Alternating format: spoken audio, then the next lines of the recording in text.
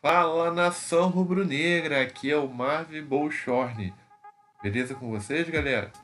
Venho aqui para falar hoje duas notícias sobre o Michel estar negociando com o All-In e o Rogério Ceni, a pré-escalação do Rogério Ceni, já adiantando aí que ele terá dois cabeças para o jogo contra o Atlético Paranaense. Mas antes disso, galera, vou pedir a vocês que deixem o like, beleza? Se inscreva no canal, dê ajuda aí a um amigo aqui para continuar trazendo cada vez mais notícia para vocês, beleza? E diante disso, galera, vamos falando aqui sobre o Michael. O Flamengo venceu a queda de braço com o Corinthians e Palmeiras logo no início do ano passado e conseguiu contratar o Michael aí vindo do Goiás. Ele que veio com status de revelação do Campeonato Brasileiro né, de 2019. A nova contratação não teve muito espaço com, com a camisa do Flamengo, Ainda assim, o jogador chamou a atenção do mundo árabe.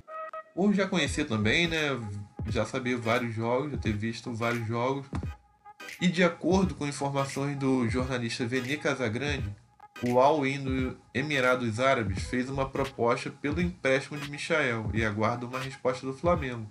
Os moldes da negociação não agradaram a diretoria rubro-negra. O empresário do atleta, Eduardo Maluf, planeja convencer o rubro-negro a efetuar o negócio. Enquanto isso, o Michael vive a expectativa de ser titular no próximo compromisso do Flamengo. Porque lembrando, né, galera, o Bruno Henrique está suspenso e o atacante é um dos principais nomes cogitados para assumir a vaga. Até o momento, Michel entrou em campo 40 vezes com o manto sagrado. O atacante marcou apenas 4 gols. Apesar disso, o jogador se consagrou campeão três vezes pelo Flamengo aí a Recopa Sul-Americana, Supercopa do Brasil e Campeonato Carioca. O que vocês acham, galera? É uma boa para o Flamengo já se desfazer do jogador, mesmo que por empréstimo?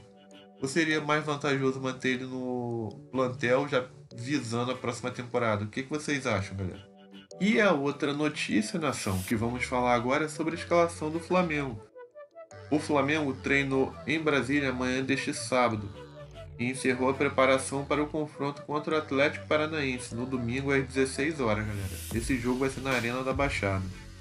A principal dúvida do Rogério Ceni vai ser escolher o substituto do Bruno Henrique.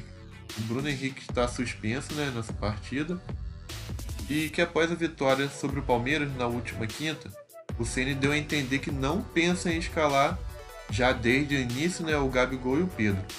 Desta forma aí o Vitinho surge como um dos candidatos para a vaga. Como a dupla de volantes, Gerson e Diego também teve um bom desempenho contra o Palmeiras, a tendência é que essa seja mantida. E a provável escalação, galera, do Flamengo vai ser aí mais uma vez com o Hugo, o Isla, o Arão, Gustavo Henrique e Felipe Luiz. Gerson e Diego, Everton Ribeiro e Rascaeta. Na frente, Vitinho e Gabigol. O Rodrigo Caio está com uma lesão na coxa direita e desfalca a equipe, mas segue com a delegação para Curitiba. Já o Diego Alves também está fora, já que não está 100% recuperado do problema muscular. O Flamengo é o terceiro colocado, galera, com 55 pontos, 4 a menos que o líder internacional. Lembrando também que o Atlético Mineiro perdeu para o Vasco e o São Paulo empatou com o Coritiba. Ótimo resultado para o Mengão aí vencer neste domingo, vencer bem o Atlético Paranaense e chegar cada vez mais forte para a decisão, galera. Vamos ganhar esse título aí. Saudações rubro-negros e até a próxima.